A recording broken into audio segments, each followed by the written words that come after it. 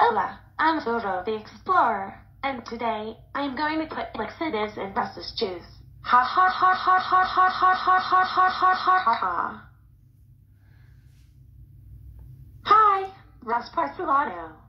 Hi Dora, what can I do for you? I have a surprise for you. Really, Dora?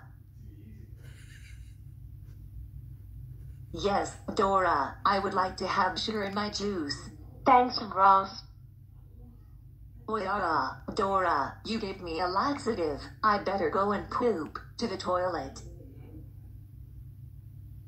Now Ross Parcelano is going to poop in the toilet.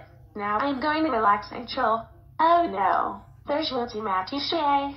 Dora, Dora, Dora, why do you give our laxative? Now she is going to poop for a whole day. That's it. I am going to call your mama. Dora the Naughty Explorer, how dare you put laxatives in Ross's juice?